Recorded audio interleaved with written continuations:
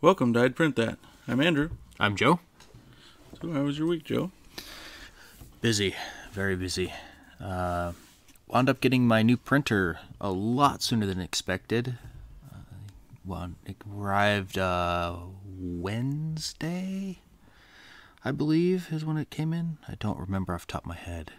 But uh, when it arrived, I did a little unboxing and I noticed that uh, just after I got it unboxed that one of the belts for the Y axis, one of the clips was broken on it. Uh, I don't think it was a fault of the manufacturer. I think this happened in shipping because the manufacturer actually tested the unit before it was sent off to me. Mm-hmm. There was a partial print still on the bed, and uh, I contacted them. They're going to send a replacement part for it, so no big deal. I was actually able to uh, go to the store today and get some super glue and uh, at least fix that part temporarily so I can get a couple of prints. It actually prints pretty decently, but it is really, really loud. Yeah, it's that small fan that's got on the little board. Yeah, I, I think the the solution I'm going to try first is I'm going to design a little duct for it just to kind of muffle it. I don't think it's anything. It's going to take much besides that. I don't think it's going to really uh, hinder the airflow. Mm-hmm. It'll just at least uh, dampen the sound. Yeah. But it, like I said, the the couple prints I did, I did one of the an octopus. Uh, I had to swap out filaments halfway through, and it had to adjust some temps. But looking at it, there's no Z banding. Uh, it comes with a 0.4 millimeter nozzle, and I printed using their default uh, settings. And their default settings has a 0.35 millimeter first layer and 0.2 millimeter layer height, and it actually came out pretty decently. Yeah, it didn't look bad. No, it really, really didn't. Um, so, other than that, we got contacted from a company called Algix mm-hmm. via our website. They do uh, a lot of sustainable marine stuff. Uh, they deal with fish and other marine life. But one of the things that Algix got into here uh, in the years past is biofuels. Mm-hmm. And in addition to biofuels, they started doing 3D uh, print 3D printing filament. So they use algae. It's an algae-based filament, and it is uh, biodegradable, non-toxic, and it is uh, a PLA. I uh, wound up calling the lady with the company who reached out to us, spoke with her for a little bit, and she is sending uh, some samples of the algae filament and two of their other filaments. And there's also a filament that they've been developing, and I believe they're getting ready to release. They're going to send that with it also. Hmm. So we'll have some some additional filaments to to test and check out. I'm curious to see if the algae will actually smell like uh, seafood, little like a fish market almost. I, I would imagine it does, but it's it's hard to say. Yeah. Yeah, their site's pretty cool. Um, watching them create their bioplastics was kind of neat. They've got little videos on their process. Mm-hmm. It was pretty cool. Yeah, seems like a cool company. Yeah, the lady I spoke with, she was actually a uh, like a, a buyer for them, or a, a seller for them, or something like that, and wound up going to work for them as a a uh, sales distributor. Oh, I believe that's what she she is. Yeah, I think that's what I read on her email signature. Yeah, if, and if I'm wrong, forgive me. I just don't have my notes in front of me. Well, yeah. Other than that, I ordered some new nozzles for my Prusa, A couple uh, sets of nozzles that range from 0.4 or excuse me 0.2 all the way up to 0.5 mil so it's 0.2 0.3 0.4 and 0.5 and I've been working on getting my, my printer recalibrated because the nozzle distances uh, the distance between the two nozzle tips is a little bit different than the stock Geeetech nozzles. Mm-hmm. So I've been trying to do some dual color prints and it's not playing nice right now. So I've got a. Also, bed leveling takes a uh, a big point in when you switch up your nozzle diameter because the your extrusion width, it width doesn't change, but the amount of it's extruding that it needs to to make the correct extrusion width width will change. So Yeah. keep that in mind. Anytime you change the nozzle, um, you need to level your bed to the appropriate size with a feeler gauge or paper, whichever you use. Yep. Yeah, I uh, I did that because the nozzles are also just a little bit. I think they were a little bit taller, Oh, and it was interesting. The uh, it's like a seven millimeter uh, socket for the nozzles for the uh, that's big. for the other yeah for the default Geeetech, mm-hmm. and these were smaller than that. Yeah, because I think my E3D is only like a 3.5 mil or four. Yeah, I think this is probably around four or five millimeters. Yeah. Uh, I haven't actually tested. I just used a uh, crescent wrench. Mm. I didn't have a an actual metric box end wrench that would fit. In addition to that, uh, I did something that I swore I would probably never do. I can't say would never do. I am very. uh, I'm not real big into social media. I've said this in the podcast a few times in the past. Uh, I signed up with Twitter and Instagram this last week. Anything else? Let's see.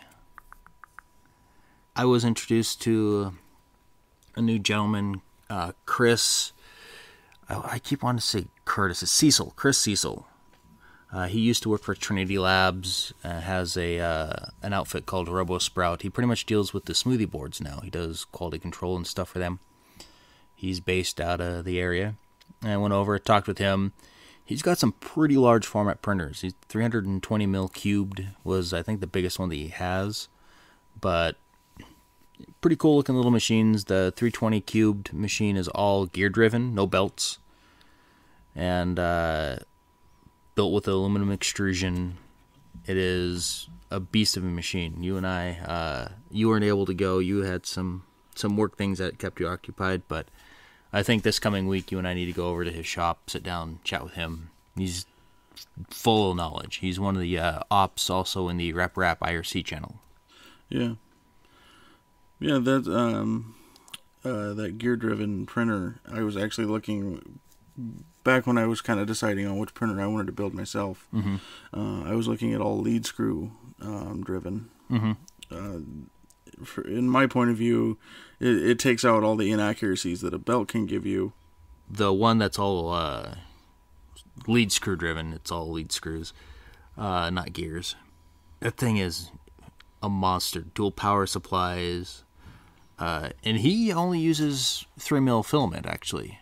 A lot of people do, and the and then when they get into large, because he prints a lot of large prints. Mm-hmm. Um, it's just the volume is more there for them. Actually uh, when i asked because I, I, I, I was curious i asked you know why uh, why 3 mil not 1.75 and the reason he gave me was less bind ups the filament's not going to bind up as easy because it's a larger diameter and it's not going to get crossed up and wound around itself Oh, okay.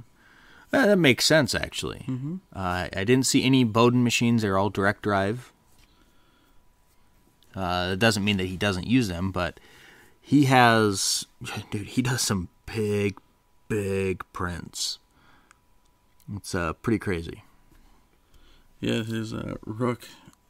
I I don't. re- I don't remember the exact uh, uh, measurements on it, but it was 320 millimeters tall. yeah, it was nuts. Yeah, he's got a uh, actually some videos of the, him printing that on his site, which we'll link to off of our site. Uh, and he's also got a YouTube page too. Yep. Or YouTube channel rather. Mhm. Uh, go go check him out. He's got some cool prints. He doesn't talk in any of his videos. Uh, most of them are just either time lapses or um, just straight video of his printer running. Yeah, if you're listening to this, there's a good chance that you like to watch printers run, so you might enjoy it. Yeah, and uh, one of the one of the videos he has out there is one of his machines printing at uh, 200 millimeters per second, which is pretty quick for a machine. Mm-hmm. That pretty much covers it for me this week. Uh, how about you? Um, I started up uh, the modified DaVinci. Started printing, trying to print. Um, uh, words. Uh, the Marvin the, from 3D Hubs. Right. Um, the test print that they give you when you open up a hub. Uh, your first order is uh, from 3D Hubs, and it's their little Marvin keychain. You print them with uh, the best resolution you can. Uh, no additional adhesion other than his feet touching the build plate. Um, no support. And I was trying to just print him out because it it's not a trying print. There are a few trying overhangs um, uh, where his legs come together. There's not a lot there. Um, and then he wears like a little helmet thing, and that kind of just bumps out from his face. So I was thinking that's that's a good. It's an 18 minute print Right. um, at two millimeter with 20% infill. Um, I was having really a really hard time still with that printer. Uh, unfortunately, I don't get a lot of time, and, and the only time I get to do it is after my kids go to bed at night. And so it's like 9:30, 10 o'clock. I still got to work the next day, so I get a couple hours of playing with it.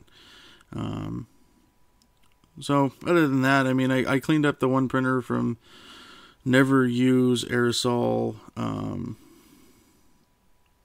craft bond glue Oh, you're still cleaning that up? uh, you if you ever do it you will end up using acetone and it peels off i don't know if you've ever used plasti dip ever Uh, yeah. I, I've I've dipped a few tool handles, but I mean that's that's about the extent of that. if you get the paint the the rattle can paint spray paint Uh, um uh, and you spray anything with it you peel it right off it's it's kind of like that other than it doesn't want to come off ever at all yeah, you said it was what two episodes ago. You said don't use it, and Yeah, you're and- still fighting it, huh? Uh, well, most for the most part, I didn't touch that printer for a while, Right. and actually, that printer's going to go down the road. Uh, I'm going to sell that one. So, anybody listening, there's a DaVinci 1.0 with Repetier 0.92 on it that's going to be going up for sale, Check Craigslist in North Idaho. or uh, get a hold of us through the site. Yep. More than happy to ship it. Um, we'll work something out. But other than that, um, a few failed Marvins, a lot of bed leveling. Um, still having an issue with the the 1.0A, the the modified printer, and the bed being warped. I tried to shim it and use it to where uh, I could use the screws that tighten the bed down and uh, just kind of take the warp enough out of it that I can get a print out of it. And also, I was only printing in the center. The Marvin's fairly small. Um, still having problems. I don't know if I can chalk it up to bed issues, other than I'm still trying to uh, get the E E3D V6 hot end dialed in all the way. At no fault of the hot end, they're amazing. Um, uh, their design is awesome, and they're tried and true. Uh, I'm actually looking at getting. Uh, they just came out. E3D just came out with a new extruder, so the cold end end of the hot end. It's just a literal bolt-on.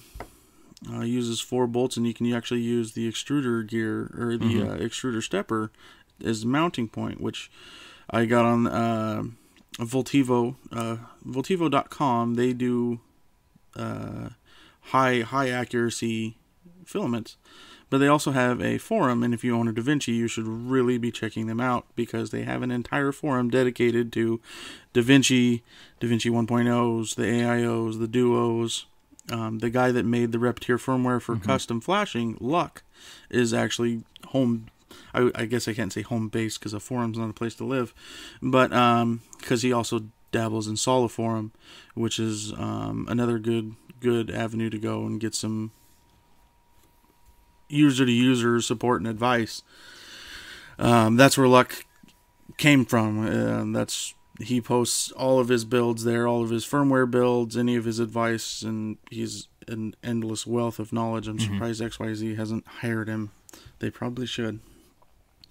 Uh, but other than that, We could do consulting for him also. I he know, possibly could. Um, I don't know- know. Geeetech's using.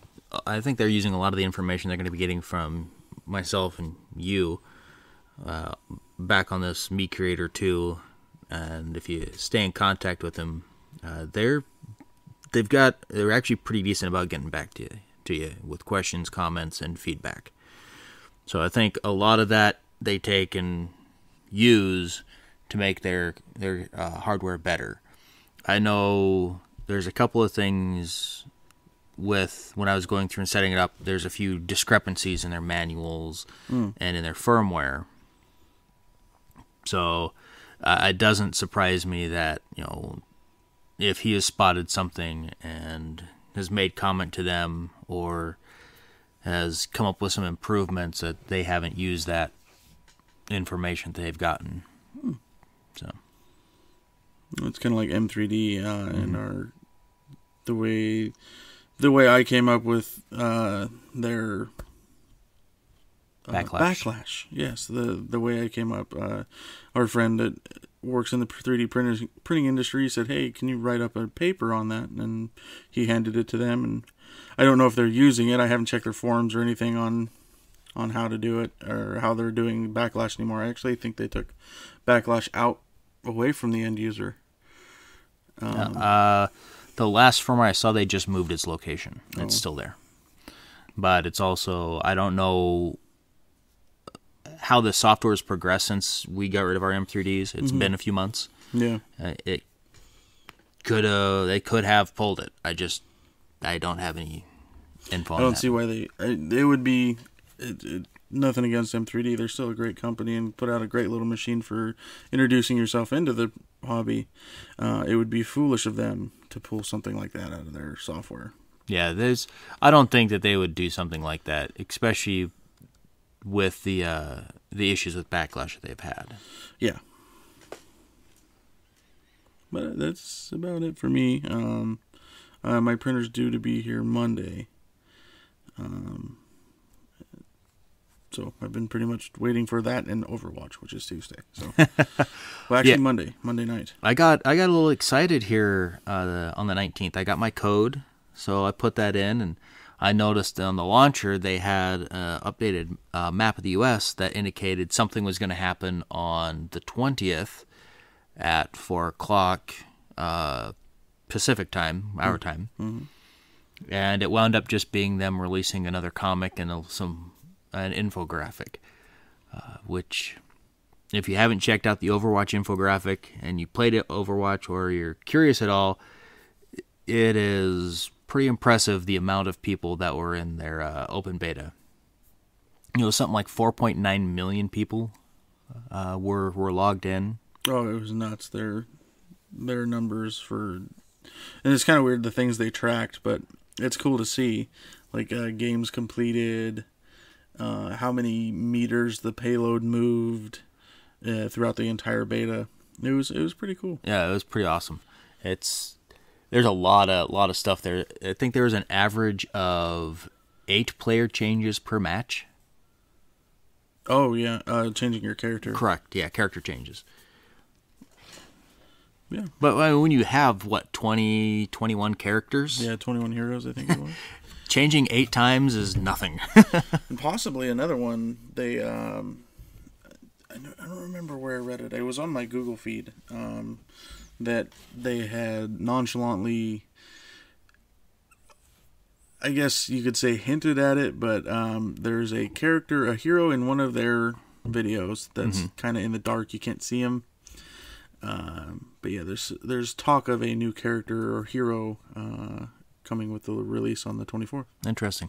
I saw a thing on the Overwatch Twitter feed actually. Uh, one of the uh, either a fan's daughter or somebody who works at Blizzard's their daughter or their kid uh, drew up this picture, and they wound up taking uh, that picture and modeling it with some concept art for an actual character in Overwatch. It was interesting. Um, have to have to link that one also. So, yeah. Um, trying to think if there's anything else that has happened, has gone on. No, not for me. So, no, here, uh, yeah, I think it was yesterday. My friend Jay, uh, uh, clued me into a little article. I'm uh, I'm a advocate for animals, and you have animals. Mm-hmm. I uh, kind of thought this was pretty interesting because if you speak with any conservationist, you'll find out real quick that those little plastic six pack rings are their bane. They have been forever. Oh yeah, images of seabirds and turtles entangled in them uh, serve as a constant reminder that uh, our consumer culture and environment don't always get along. And the article details that an innovation from a Florida-based brewery uh, will at least make us feel a little bit better about enjoying a six-pack. Saltwater Brewery has partnered with the ad agency We Believers to create what they say is the first fully edible beer can packaging. Made from byproducts, excuse me, made from byproducts of the brewing process such as wheat and barley, their six-pack holders are fully biodegradable and completely digestible. Rather than ensnaring curious animals with a corset of litter, the company's six-pack rings could serve as a satisfying snack and if nothing is bitten, the rings quickly decompose. Hmm. Plus, the drink holders are just as strong as a plastic variety, which should keep those screaming reels nice and safe as well. Oh, that's cool. The company has 3D printed a test batch of 500 holders in April, and according to Advertising Age, it plans to scale up production to meet their current output of 400,000 beer cans a month. While the edible holders are more expensive to make, Saltwater Brewery wants to set an example for other beer producers and encourage them to adopt the idea. They say if their edible holders become commonplace, they could potentially be as cheap as regular plastic rings. Hmm. It's pretty awesome. Yeah, I mean, unfortunately, you won't see big brand, big store brewers do it, but uh, it's cool to see. Um, if if there's enough uh, if there's enough pushback, you may, and especially if it's a biodegradable and edible thing. It also you also see, I would almost guarantee on Pinterest recipes for the, the beer Oh, can yeah. rings. So next thing you know, you're gonna come home tonight and be, honey, what's for dinner? Beer can beer rings. can rings. Oh boy. Already eat enough crap I don't like. Uh, so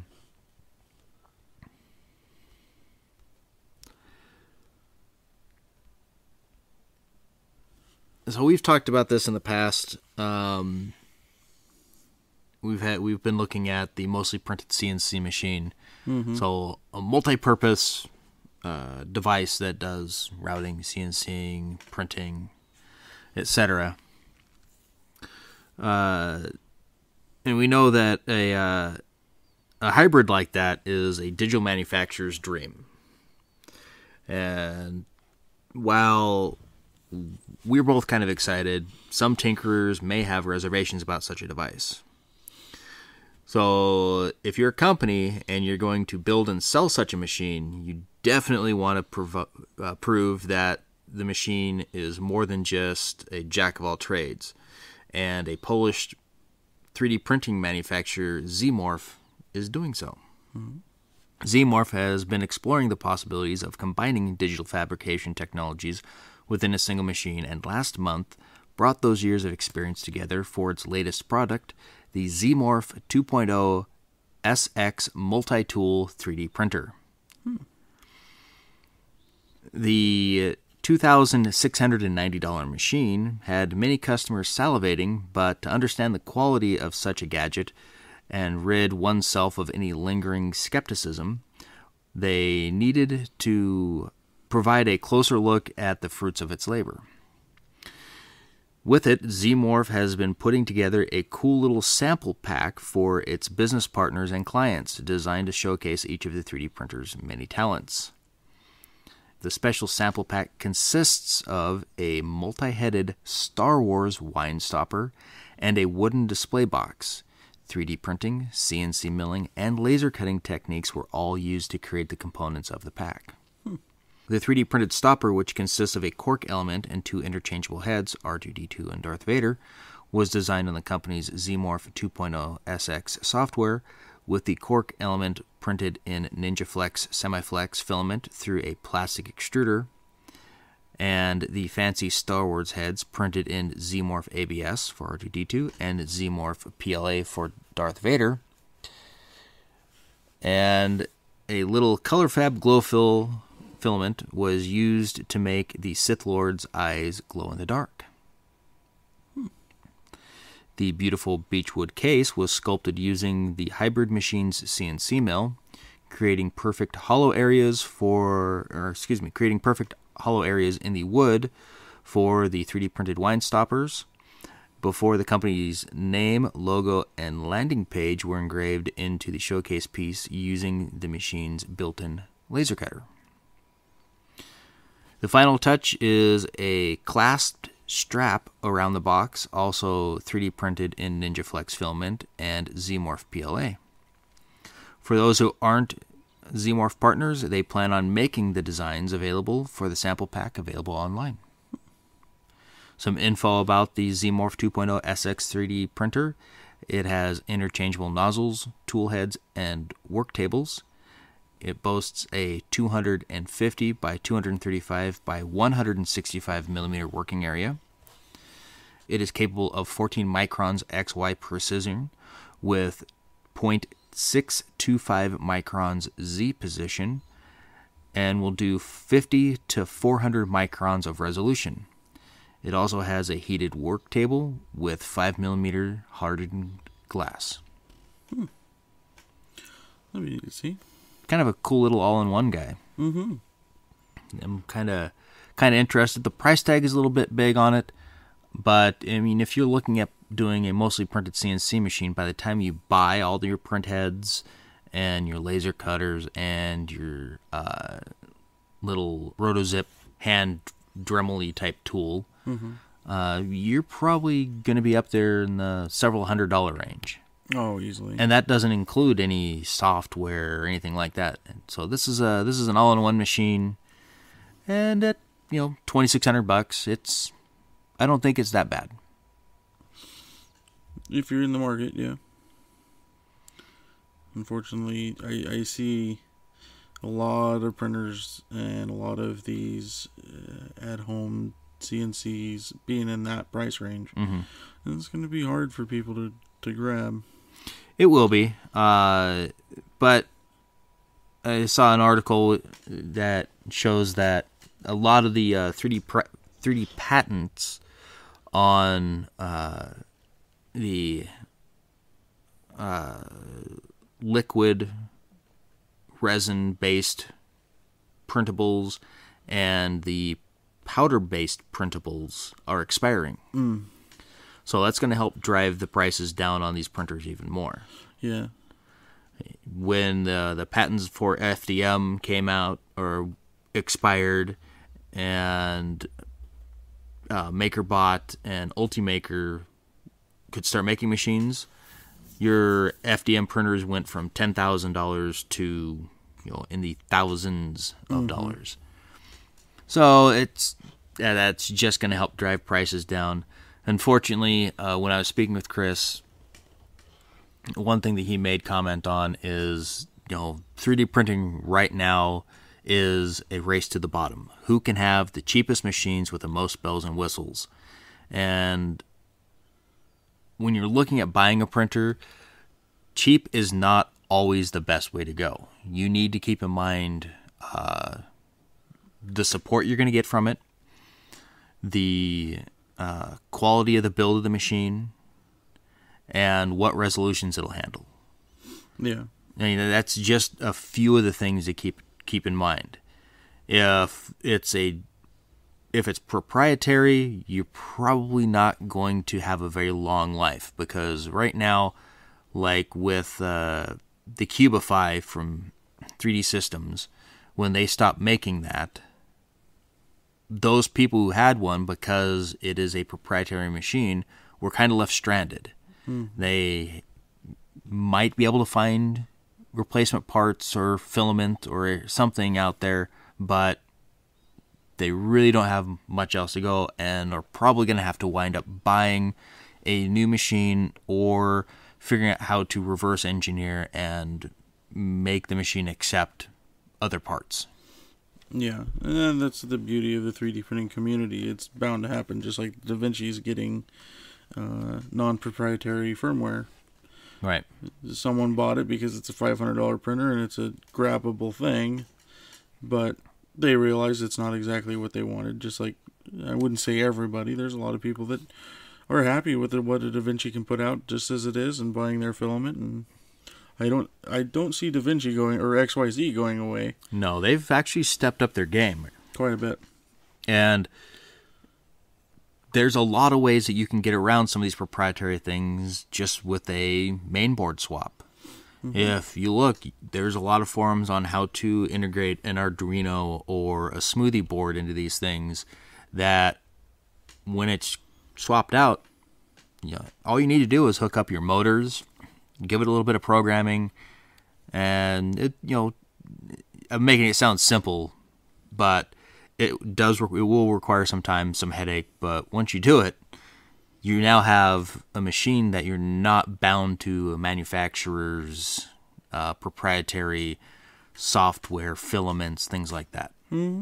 And that's that's the beauty of the internet and information age we're in now. You're not alone, and there's really good chance that someone's already done it, and you can either follow them and and improve upon if you need. But we most of the when I flashed the Da Vinci, I did exactly what someone else did, worked for me, and since I've um, since then I've improved uh, improved upon it a little bit, but not much Yeah. it's just it's it's nice to have a community obviously people that have printers are already handy with software and tech and um so i mean there's uh, Luc i mean that guy is he's like savant level Yeah. smart and that's why you, you want to be part of the you know the Voltiva forums. Get into the RepRap IRC channel.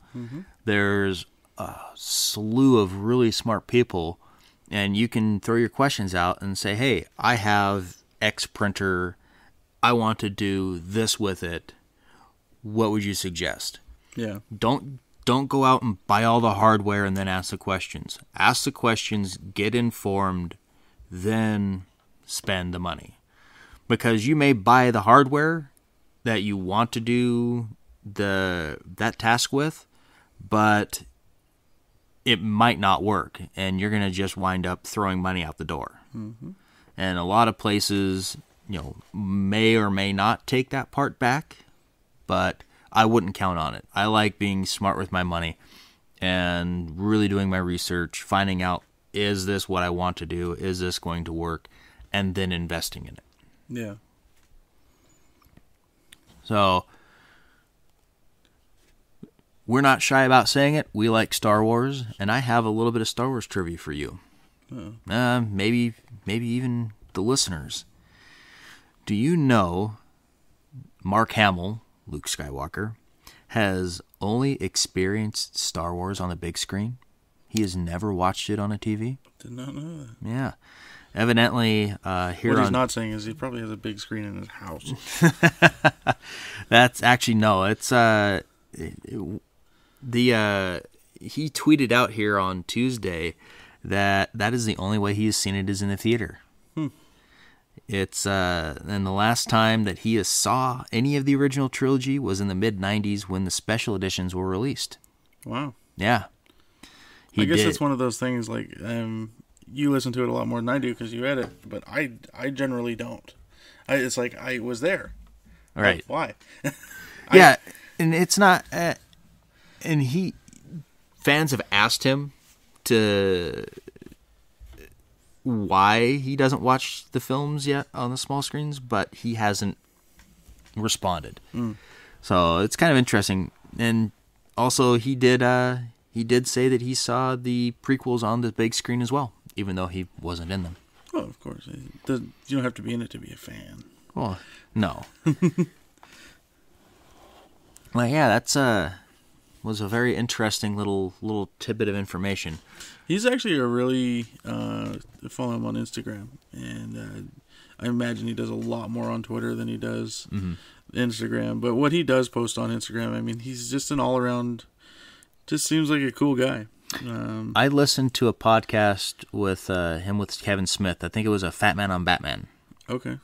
Uh, he did a guest spot, and r- he was there not because of Star Wars. He was there because he played. Yes, he was the voice of the Joker in the animated series, which great series. I need to go back and watch it again. But the his voice for the Joker was just top notch Yeah.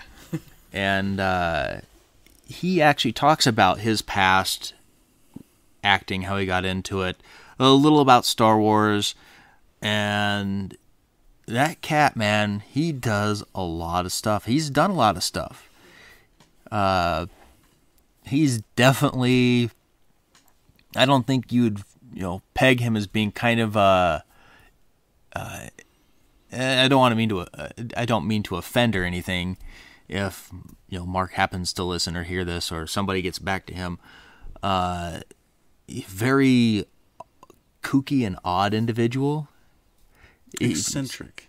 eccentric is kind of the right word uh, but it's really funny. Uh, i enjoy listening to his stories. He is a very animated person telling the stories at least. So yeah it's you know like like we said last week you know the saying is don't never meet your heroes this is one guy Uh, i would really like to Yeah. meet I I don't care. I don't even care if he pissed me off. he couldn't. But like this picture here, it's from Instagram. oh yeah him and daisy yeah, he's on her back like Yoda was It's- on his. her name's daisy right Yeah. uh, Okay. Yeah. Daisy Ridley? Yes.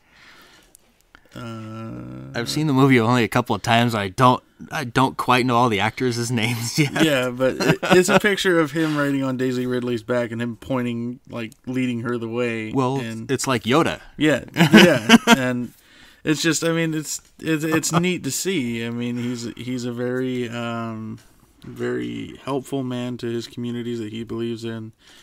Uh, yeah, I, I definitely have a beer with Mark Hamill. Oh, definitely, definitely have one. And I don't drink beer, so that's saying a lot. Yeah, No, it's not. Uh, that's incorrect. It's not that I don't drink beer. I infrequently drink beer. I'm I'm not a fan of beer. I just the taste is uh, a little much for me. I like the, the ciders and things like that. and I like IPAs, so You like them bitter. yes, very bitter. Uh, we've got uh, a friend at work who likes them dark. Yes, and I I uh, will drink a porter or a stout, um, but I'm definitely more of I like to drink something that's I guess you could say refreshing, Mm-hmm. and the IPAs, especially when they have like the um, the citrus notes from the hops, um, it's just good. I like I, I but I like the taste of beer. I mean, I'm a beer snob, but I will also drink Coors Light. I don't care. I like the taste of beer.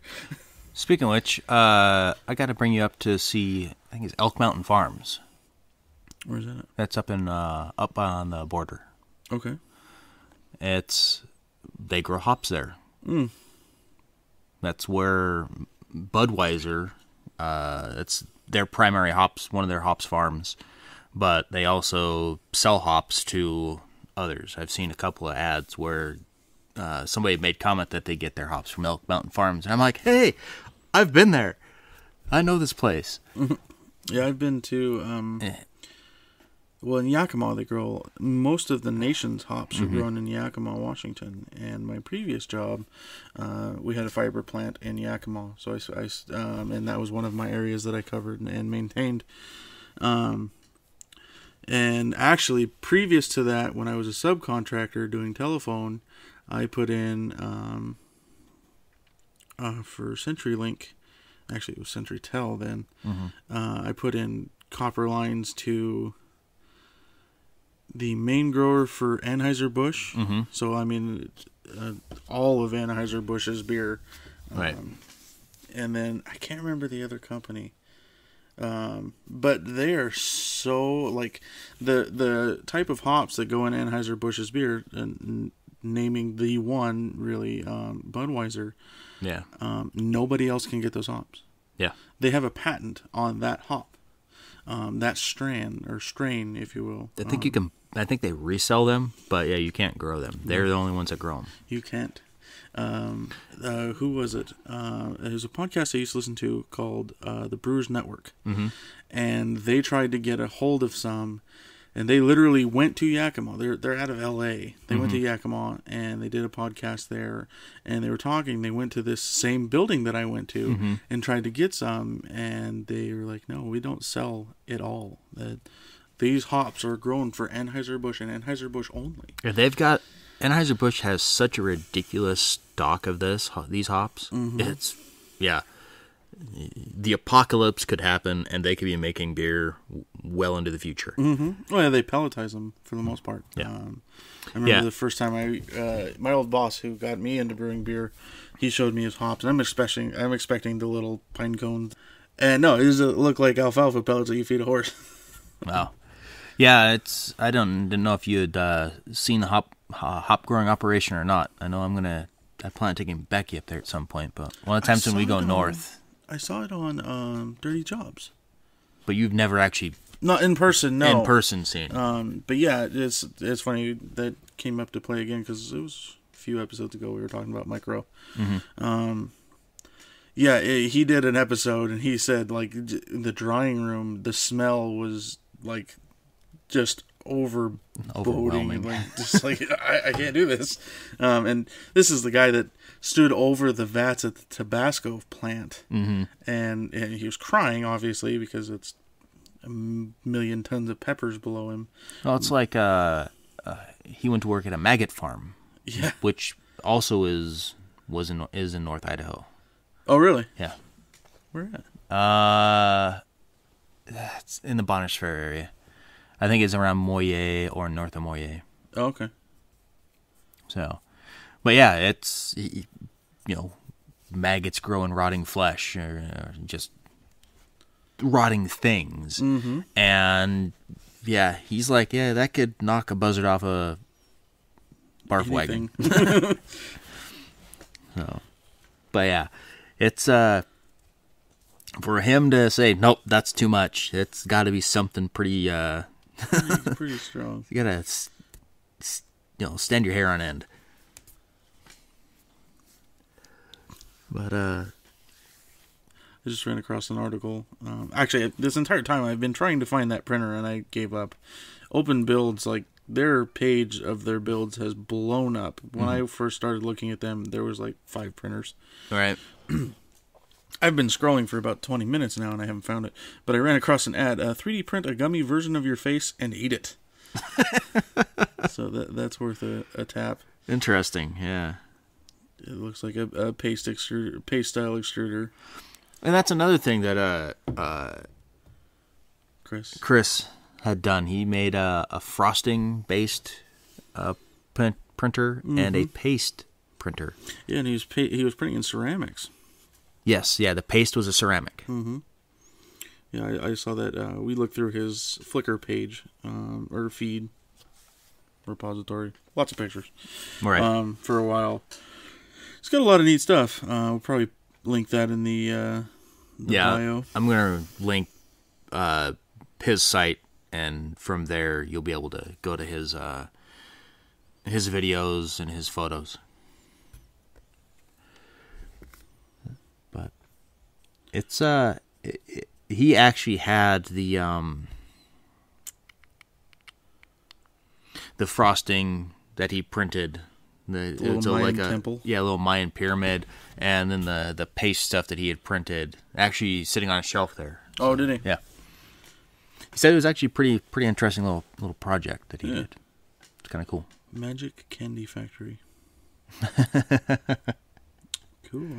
Now, are we talking psychedelics, magic, candy, Mm, or wouldn't are we talking? I wouldn't say The Verge would cover it if it was psychedelics. I mean, Oh, okay. only if the people went to prison. but um, It depends. They could be in Amsterdam or some other place. that's what it looks like when you 3D print your face. Oh, that's And interesting. gummies. It's just a little uh, Here's one that you like. There's a little octopus. silhouetted thing. Oh yeah, a little frog and a snowflake, and oh, uh, the octopus I've been printing. That's cool.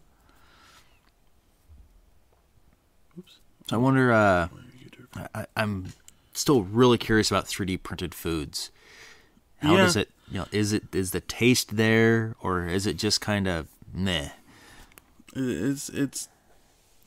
I imagine in the beginning it's going to leave a lot to be desired. Mm-hmm. Um, I, I'm very curious to see XYZ's big food printer that they put at CES. Um, seen a few pictures of that, and I think we spoke about it right after CES happened. Right. Yeah. We we went over some of their some of their things, and they didn't have a price tag on that one, but yeah, they uh they announced a 3D f- uh, printer for food. Mm-hmm. Um, and actually, our friend uh, that we know, uh, w- which was at CES, uh, checked it out and saw it. And he actually, I don't think he was able to see it print food. He said, I don't think he said it was running most of the time he saw it, but um, there was definitely. I think in the article, uh, they were saying they printed something. I can't remember what it was. I think it was printing in chocolates or something. Yeah, but I mean, it's already coming because they're already growing meat in uh, the hamburger thing. Right. Uh, that was a while ago that that came about. Gaming wise, um, I haven't really gamed a bunch. I uh I tried. Uh, Overwatch kind of ruined me. um, I tried to go back and I tried to play some Call of Duty a few days ago. Um, and my my old roommate's over at my house tonight, and so we'll we'll probably end up playing some tonight. But it's like, ah, you're not the same. You're not as fun. no, it really isn't. I actually uh I started playing some of the Nathan Drake collection on my PS4. So I've I uh, when I had my PS3, I was going through. I completed the first Uncharted, and I was over halfway through Uncharted 2, and my hard drive just died, and I decided, screw it, I'm not gonna I'm not gonna go through and redo this. Well, they remastered and re-released uh, Uncharted One, Two, and Three for the PS4, and with Uncharted Four coming out or being out, I can't remember if it's out yet or not. I decided, eh, I've got this game. May as well uh, go ahead and go through it. And in the course of a day, I went and I'm back to where I actually farther than where I was when I had stopped last time, and I'm right up at the end. I think I'm in chap up to chapter 13. So I've been having some fun playing that one. Uh, I got a little bit tired of Fallout. It's getting kind of monotonous for me. I'm just I want the game to be over with. Uh, sadly, uh, once you get to a certain point with some of the factions, it's just a lot of repeating quests. Mm-hmm. It's very grindy, and I don't I don't like grindy games. Hence the reason I don't play any story mode games because I just I get bored too easy with them. I, it's it's not that you know, yeah, I, I'm kind of bored with it, but why have that as why have that element? There's no need to grind in this game. Yeah. You're not making friends. Once you're to a point, you already are friends with them. You Yeah. don't get really any benefits from it. Uh, they could have just focused on, hey, I'm done. I don't need any more things, and that NPC could ignore you or, you know, have maybe a special item or, or two every now and again, rather than just have this NPC, you know, go get technical documents. All right, there's a continuing quest. Go get vi- uh, viable blood samples. Continuing quest. Go get this piece of technology. A continuing quest go check on this safe house, a continuing quest. It's just over and over. Hey, there's a settlement that needs your help. It just gets boring. Uh, have you done any of the DLC? I don't plan on being, get, picking up any of the DLC for it. That's uh, actually the reason my old roommate came over. He's like, "Hey, can I come use your internet and get some DLC?" And I said, "Yeah, sure. You're more than welcome to." And uh, he's picking up the Auto- Automatron, Yep. and then Lost Harbor or Long Harbor? I think he he was talking about Lost Harbor or whichever yeah, Lost Harbor. something harbor, harbor boats things. Yeah. Um, but I don't know if he's going to or not. Did Um, he get the uh, season pass? I don't think he did. Okay. He he may have. Um, he's a he's a diehard Fallout fan. And Uh, he plays it. He plays them all through the end always, and he usually plays them multiple times. Um, I can't. This is the same guy that I was trying to play Skyrim with, and he's like, "Go here, look at that." I'm like, "I'm bored. Yeah, and I'm gonna go kill this guard." I it, it drives drives Becky nuts. I have to search everything, and I have fun doing it. I mean, there's a lot of cool little things out there. They put a lot of detail in the games, and I like I like seeing the attention to detail. But when it comes to stories, either make the quest useful or cut it out Yeah, useless quests, grindy quests really bug me. I hmm. don't mind doing a couple of them, but good God, really? When you Yeah. get, you know, after you do four or five of these things, they, they get really old really fast. Mm-hmm. that's why I don't play them because So- they get really old really fast in the beginning for me. Like I played, I got. I think my character's still standing on top of the vault. So you got out of the vault. I got out of the vault. That's it. That doesn't take much to get out of the vault. No, I just got bored. It's like, okay, this happened. I'm like, okay, that's cool. And then they're like, then this happened. I'm like, oh, okay. Um, crap. I wish my daughter wasn't standing there when that happened, but she was. Yeah. Um, and then, and then they killed the kid, and then they killed the mom, and I was like, oh, that that's bad. Well, they, And didn't- they stole the kid and oh yeah, the they mom. stole the kid. Yeah. Anyway, um, but No, I no- was no just, spoilers there. yeah. um, I was like, this is just not my game. This is I I hate the. Oh look, there's a point. I got to run there. No, I want to kill things. And I've been told that "Oh, you don't have to. You don't even have to play the quest. You can just explore and kill things. And I'm Yep. like, yeah, but nah. I guess another another one of it for me is I've never played any of the others, and I guess you don't have to be that way. Uh, but I like to be like Call of Duty. I've played Call of Duty since it was a thing, and I know I know the storylines. Um, I, I can see the throwbacks to old Call of Duties, um, and that's fun. And for me to step into Fallout Four, and there and because my old roommate was like, "Oh yeah, that was in Fallout Three. That guy," and they were referring to Fawkes, your old, your old uh, super mutant guy, and I'm like, Right. "Cool, I don't get it." And that's the thing is they add things like that, but really the game is standalone. There's, yeah, they they talk about um, uh, th- you're in the Commonwealth, but they talk about the um, Capital Wasteland, and that was the setting for Fallout Three. Capital Wasteland being uh, the capital, DC. okay. So you get to see all the things that are there, uh, museums, monuments, things like that, that have been ravaged by war. Mm-hmm. It's uh, fun, pretty awesome, really cool. Uh, I don't know. Did you get? Oh, you did. You got it on PC? I didn't get it. It was actually uh, I share my Steam library with a guy at work. And he was like, "Yeah, go ahead and play it." And I was like, "Okay." Did he get a copy of Fallout Three along with it? I have no idea. Uh, the guy has like 300 games in his library. Fallout So, 3 sure is a good one to start at. Yeah. Fallout 3 is a really good one to start. Hmm. You don't because the, Fallout 2 and Fallout 3 are two completely different games. Wasn't 2 New Vegas? No. No, that's like 3.5. Okay. But Fallout and Fallout 2 were uh, kind of uh, turn-based role-playing games. Okay. Uh, so you have the three-quarter top-down view like you would in Diablo. Mm-hmm. Like an ARPG type. Correct. And you would just go do quests and do things.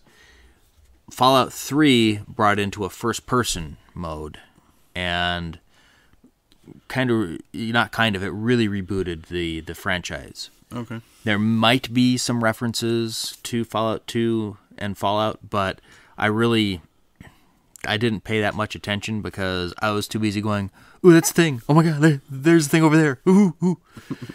yeah, really excited for the game. I played many, many, many hours. Again, didn't play in the DLCs, but really, I like the main games. And by the time the DLCs are released, uh, I'm on to another game. Mm-hmm. Uh, uh, I have an issue with DLCs anyway. Yeah. You know, I, I'm buying a game, and now you're selling me additional content for that game. Why didn't you just release it all at once?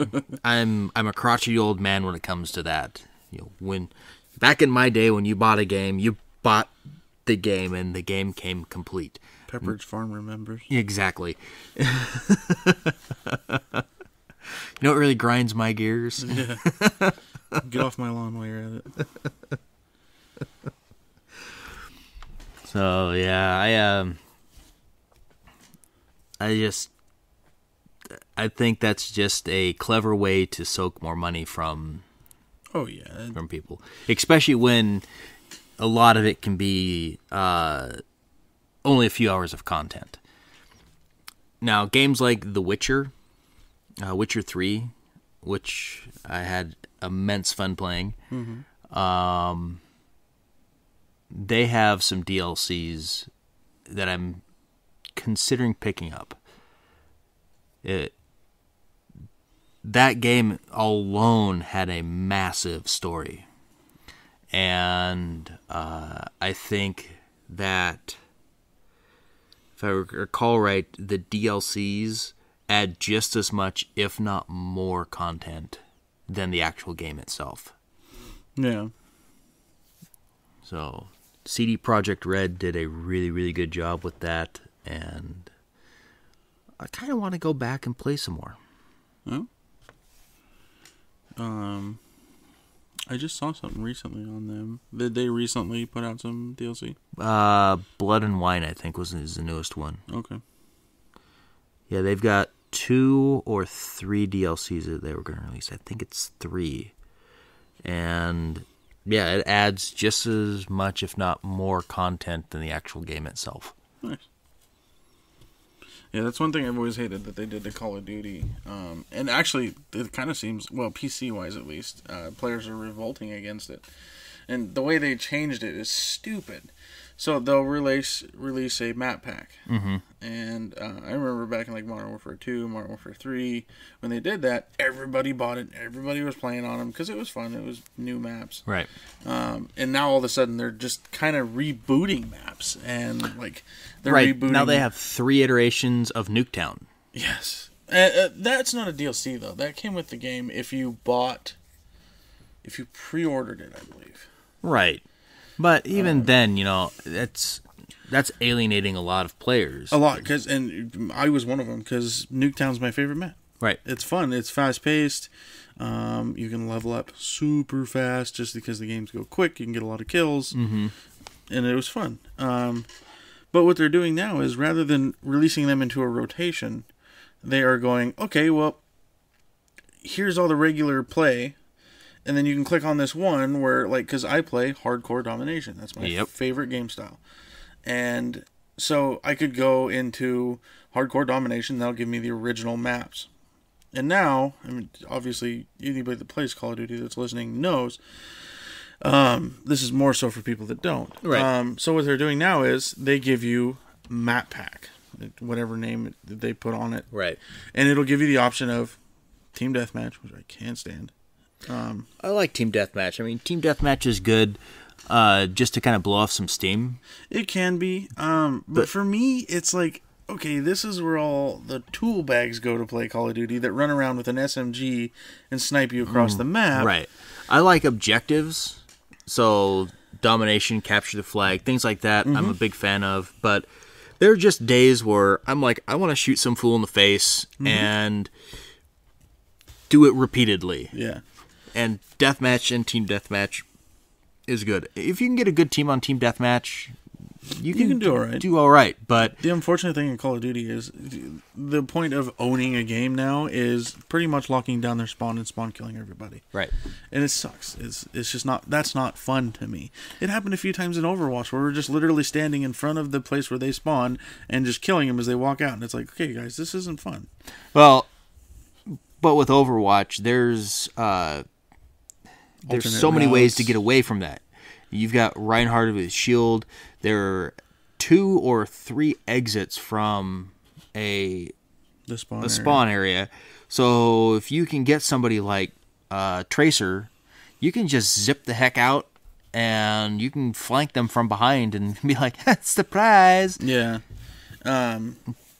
So yeah, I mean, like I said, there only was a couple points that that happened, and that's what ended up happening. They got out behind us. But in Call of Duty, there's that's like one of the banes of Call of Duty that anybody that's playing, like, oh look at that nice spawn, um, spawning on top of an enemy, or spawning and then an enemy's like right there. Oh yeah, that's a, that's a one thing that irritates me is when I spawn and a guy Spawn runs death? around the corner. Yeah.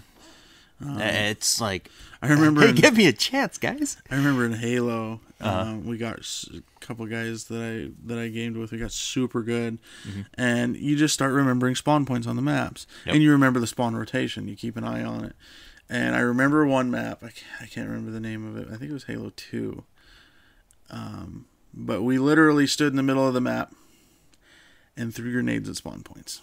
That's all we did. And you throw a sticky, the five second timer goes off on the spawn. Boop, you killed so and so. Next one's up. Throw a sticky. Wait. Yeah. And uh but anyway, so what they're doing is is so you get team deathmatch, you get normal objective play, and that's just a mix of search and destroy, capture the flag, domination, and you obviously you get to vote. But if say you like to play domination, you don't get to go play domination. And then they're like, "Oh, yeah, there's those guys that like hardcore that actually like um can take two bullets and you die." Not unloading a clip and a half into somebody and they finally keel over. Um they like to play tactical. Then that's the games. That's the way I play. I've played hardcore since I started playing Call of Duty because it's more fun. Yeah, it was in one of the last Call of Duties. It was like Black Ops Two was the last one I played online. Uh, I did play Ghosts, but I didn't Ghosts play too much of that because it was on the one, and, and my crew, my buddy Gary, and uh, those guys, they didn't. They have yet to get a one. I'm. Oh. I went that direction.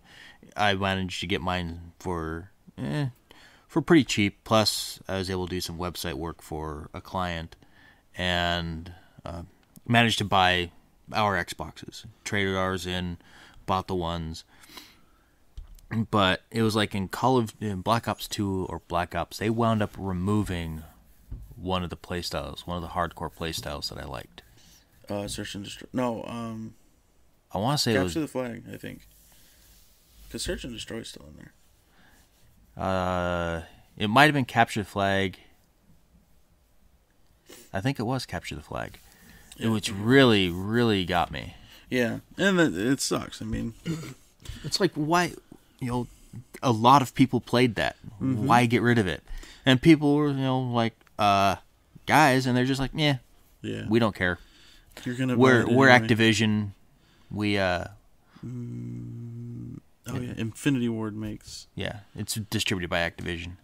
Makes the Black Ops series. Yeah. Infinity Ward makes um, the Modern Warfare series and uh, Infinite War and Yeah. Advanced War. Treyarch and those guys. Yeah, Yeah, they're all just like, meh, screw you. We don't care. yeah. And unfortunately, that's kind of the standpoint they've taken with with the the maps because okay, oh yeah, there's those hardcore guys. They call it hardcore mosh pit. So you can play, you can be playing team deathmatch. You can play search and destroy. You could play It just rotates. It's free for all, which I can't. I hate free for all. It's not fun. I like team based games. Um, See, when I first got into uh, first person shooters, free for all was pretty much it until you got into the modding community. So when you played Doom, it was free for all. When you played Quake, it was free for all. when you started downloading the mods and getting into mods, uh, you got into the capture the flags or the team fortresses and those style of games. So it uh that's where I got my start, but it is it's chaos. You have to be able to you know eh, eh, get to the mindset if it moves it dies. Yeah.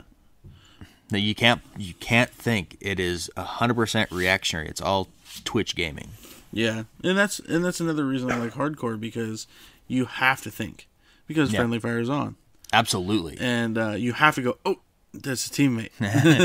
Okay, what is he wearing a balaclava or is he wearing a helmet? yeah, and and actually the original reason I started playing hardcore was because I think Modern Warfare Two, uh, the RPG. Oh god, kids would just run into mar- into hardcore, and because I mean you can kill mm-hmm. somebody with an RPG, and you can the splash damage was ridiculous still, and you could just team wipe with an RPG. yep. And so in in regular, you'd spawn and somebody'd run and pew, shoot the lane and kill the team. It's like God, this is stupid. And then you get a whole freaking team of people with RPGs, and it's just not fun anymore. Right. In hardcore, you can't because you could hit a teammate, you kill two people on team, you're out. You're out of lobby. You're yeah. booted. Yeah. See, and that's when I played Soldier of Fortune 2. We played with friendly fire on. Mm-hmm. It was competitive play. You, You just seriously think about okay, my guys are here. yeah, you got to really plan your maneuvers. Mm-hmm. Hey, you know, this guy's going down the ramp and he's going to be cutting to the right. Okay, you got to watch the door to the left. If you throw that grenade, you better be able to throw that grenade or shoot that M203 through that door without missing. Mm-hmm. because if you do, Don't splash damage is going to hurt him, maybe kill him, or it's going to bounce back and kill him. Mm-hmm. Yeah, yeah. Hardcore definitely makes you think a little bit more about your shots. Mm-hmm. Speaking of Doom, um, one of the guys I follow uh, very closely on YouTube, is that he's just very animated. We spoke about him before, Slipgator. Right. Uh, he's doing a uh, playthrough on Doom, the new one. Right on. Looks pretty cool. Um, I've heard it's actually supposed to be pretty good. Mm-hmm. And I see that uh, I've seen some screenshots going through 9gag uh, where somebody's been like, yeah, I was playing through Doom and all of a sudden this happened. And it's, uh, you can see the updated graphics and the HUD with the gun and stuff, but it is uh, E1M1 from Doom, episode 1, map 1. oh, really? Yep. I'm like, I, I know that level. like that is like you go, you get your shotgun in the first room that's just off to the left. You come back down the stairs after you killed a couple of bad guys in there. Go around the hall to the to the left, open the door, and That's where you start. there's the room. I mean, it's that's the first big room you come to after you get and that's the exact start of the game because I, I saw his first episode and that's all he's released so far and that's exactly the start of the game other than you start with pistol with an, an, an infinite ammo Yeah, the pistol in that game, I think. the charged pistol you, you can charge you can either rapid fire it or you can charge Oh, it see, in in the original Doom, it was a nine mil, and I think, I think the pistol even had limited rounds. no this one has a little infinite symbol Hmm. um, but yeah you picked up the shotgun like first thing the guy was like i got a shotgun already Yeah, when you but you're playing Doom, remember? yeah and then he got the add-on for his shotgun to shoot the uh, the grenade rounds that was pretty cool Oh, cool. Yeah, I, I haven't seen a whole lot on the new Doom. Uh, I know that's still John Carmack's engine. Mm-hmm. Uh, that's his new uh, id six or whatever they call it now, id five engine, and uh, yeah, the guy's really good at doing the engines. I don't know who who did who did the level design, but uh, I understand that it's a really good game. So I may pick it up. I don't know. With, Yeah, I may pick it up also. With Overwatch coming out, I, I doubt I'll take the time to play anything else. I'm just that's why I pl- that's why I'm playing Uncharted and doing all these other little games. Uh, need to play some more. We picked up uh, Grim Dawn. We haven't played any of that since the first two times we played it. Uh, kind of want to play a little bit more of that. The game seems interesting. I think that there's a decent storyline behind it. I really didn't get haven't had a chance to follow, but uh, I want to. I'll probably wind up picking that back up at some point just to you know, play on the down days. His name is not on any of it. Who, Carmack? Yeah. Um, It's ID Software. yes, which Bethesda now Bethesda owns. is the publisher. Yeah. Uh, but it looks like the designer's Jason O'Connell. And the artist was Hugo Martin. Yeah, probably level design and concept art. Mm-hmm. But yeah, I know. I think Carmack is one of the guys also behind Oculus. Oculus Rift? Yep. Oh, okay. Yeah, I can verify that. I, I just watched a little documentary, and I know Carmack's engine is in the new Doom, and uh, it was um, id got a lot of their uh, funding from licensing the engine, Mm. and they are no longer doing that. Okay. That is going to be basically for id and id games only. Rage was one of the ones with the new engine, and Doom is just an updated one. Okay. John Carmack. Yeah, he's a CTO of Oculus VR and Armadillo Aerospace founder. He did Wolfenstein. Yeah, actually, Wolfenstein was the first, uh, the first first-person shooter that the id guys came up with. Okay.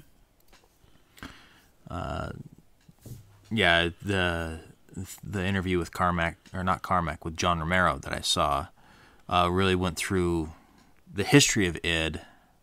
Actually, it wasn't even that; it was just a history of id, and you know, uh, one of their first games was a Commander Keen, and uh, they made you know, quite a bit of money off of that. It had a decent income, but the moment they released Wolfenstein, they made tons of money. Yeah. And that's why when they went, okay, we can do Keen or we can do first person shooters, which is now making us a ton of money. So they uh, they stepped it up and created Doom. And Doom made them they thought they were making a lot of money before. Uh, what was it? Uh, Romero was able to go buy a Testarossa cash with the money they were making off of it. It was a ridiculous amount of money. It's it's good. I'm I'll actually link to the uh, to that uh, history of it. It's a YouTube video. Um, he still I think he still plays Doom. Commander Keen is on Android now. Yeah. You got to think, man. The uh, the computers we had back when that was released. It was DOS based. Yeah, the, the those computers uh, are way less powerful than a cell phone. A cell phone yeah. outpowers those guys by leaps and bounds. Oh yeah. Graphics wise, processor wise, RAM wise, it's yeah, no contest. And it's free. Yeah, I don't doubt that. Oh no, Commander Genius, that's not it. Commander Keen, um, Super Fight you probably find it on Abandonedware now. It's like uh, the original Doom. I think it's Abandonedware, so you can find free copies. Oh. The uh, DRM copies. Yeah, it's no DRM in them. If you find out there's there's actually uh, a launcher for Windows, the new Windows 7, Windows 10, uh, just updated machines for Doom. You can go download that launcher and then you just go find the WAD files. Uh, that's the extension they use, WAD, and you can Actually, WAD files are still used in Android for uh, operating systems. probably. But uh, yeah, that's. I, I downloaded a copy of Doom and actually played through uh, a few levels of uh, episode one. Oh really? Yep. Little nostalgia. lot of lot of fun with that game. Well, I think on that note, I think that pretty much does it for this week. Unless you have anything to uh, else you want to talk about, any games, anything? no, uh, I do plan on streaming Overwatch on Twitch. Um, played around with OBS a little bit, but uh, yeah, if you want to come take a watch, come watch. I'm the real Frosty on Twitch. Cool. We'll uh, get the uh, get that linked off the site also. But I guess that does it for this week. I'm Andrew. I'm Joe, and remember, if you can imagine it, you can print it.